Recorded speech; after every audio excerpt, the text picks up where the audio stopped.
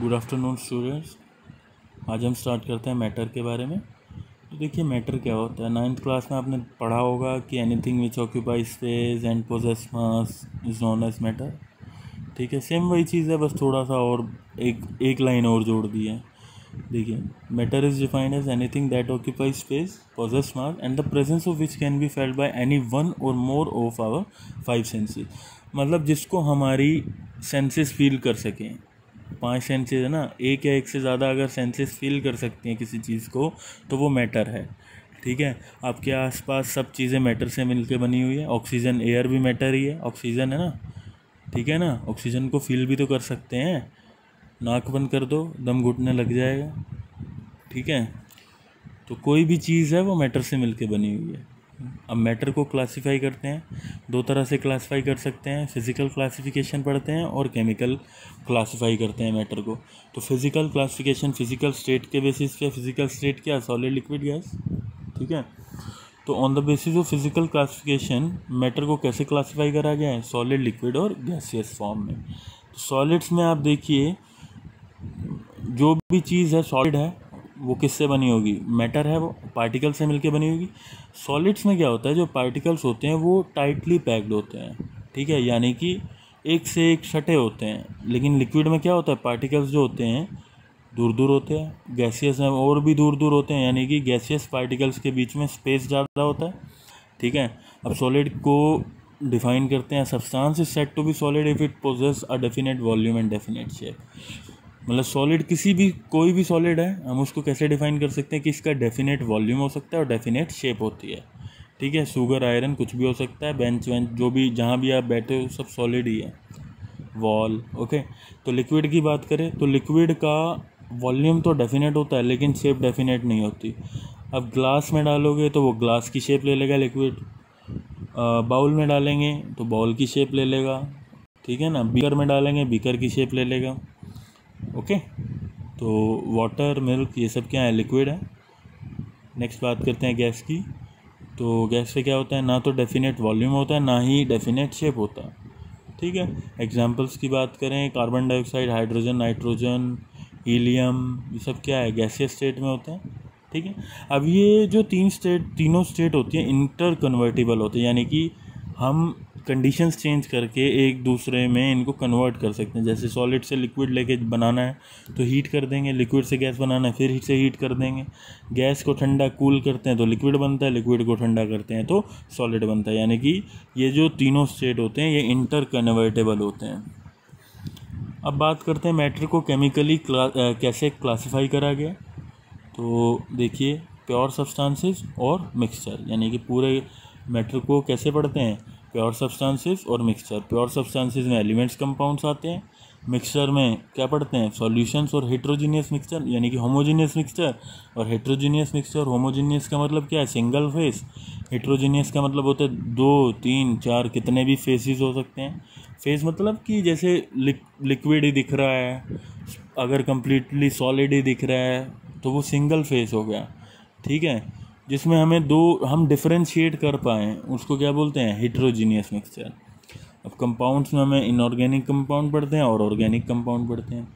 ठीक है? तो होमोजीनियस की डेफिनेशन क्या होगी? कि होमोजी किसी भी मटेरियल को आप होमोजीनियस कब कहेंगे? If it has uniform composition and identical properties throughout मतलब उसकी कंपोजिशन यूनिफॉर्म हो, सब जगह एक जैसा ही हो। ठीक है? और हर कहीं से भी उस उस मिक्सचर को ले लो प्रॉपर्टीज़ जो हैं वो सभी की सेम रहे। अब सिंपल सी बात है होमोजीनियस का मतलब है consist of only one phase single phase हो, ठीक है?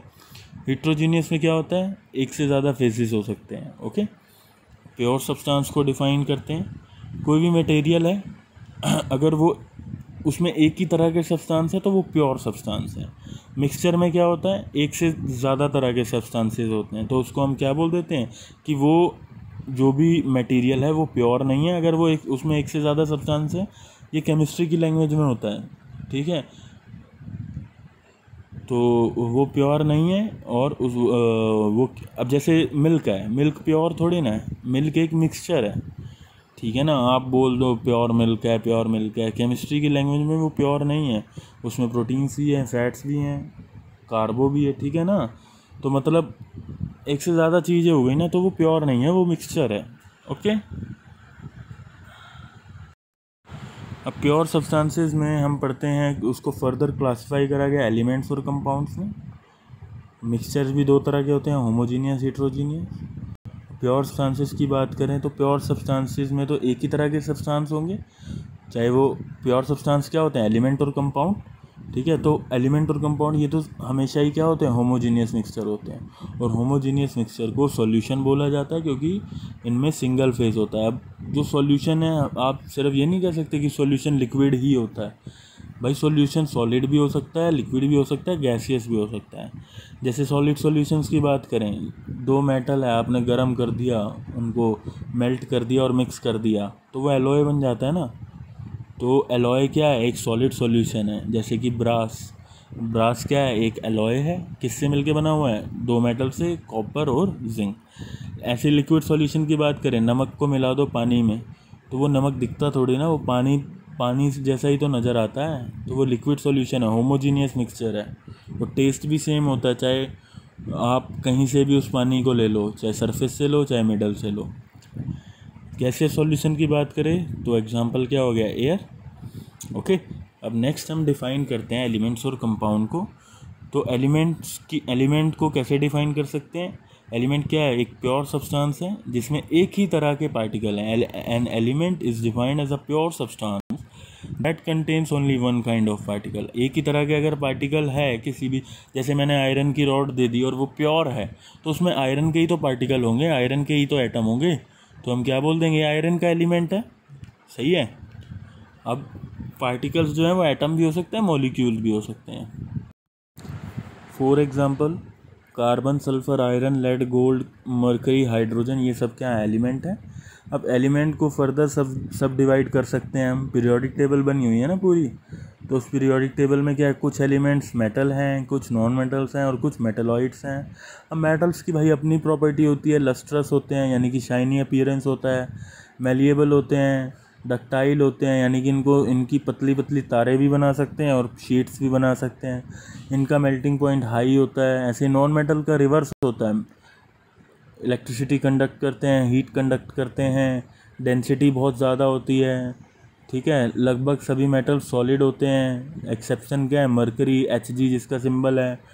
एग्ज़ाम्पल आयरन सीजियम रूबियम ये सब क्या हैं? मेटल्स हैं। ऐसे नॉन मेटल्स क्या होते हैं? नॉन लस्ट्रस कोई चमक नहीं होती। ब्रिटल यानी कि हथौड़े से मारेंगे तो टूट जाएँगे चूरा चूरा हो जाएँगे पाउडर बन जाएगा। पुअर कंडक्टर होते हैं हीट और इलेक्ट्रिसिटी के। एग्ज़ाम्पल ग्रेफाइट तीनों फॉर्म में, तीनों स्टेट्स में एग्जिस्ट करता है। एग्ज़ाम्पल क्या हो गए? कार्बन आयोडीन ब्रोमीन क्लोरीन सब क्या हैं? नॉन मेटल्स हैं। अब मेटलाइट्स की बात करें तो इनकी प्रॉपर्टी किससे? मेटल और नॉन मेटल दोनों से ही थोड़ी थोड़ी मैच करती है। एग्ज़ाम्पल याद रखना arsenic bismuth etcetera next compound की बात करें तो कंपाउंड भी क्या है?